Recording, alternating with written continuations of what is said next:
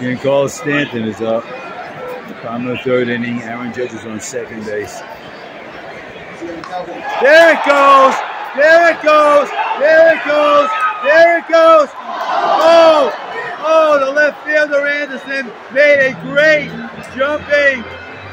That wasn't Anderson. It was. Well, everybody thought Stanton hit the home run except the left fielder.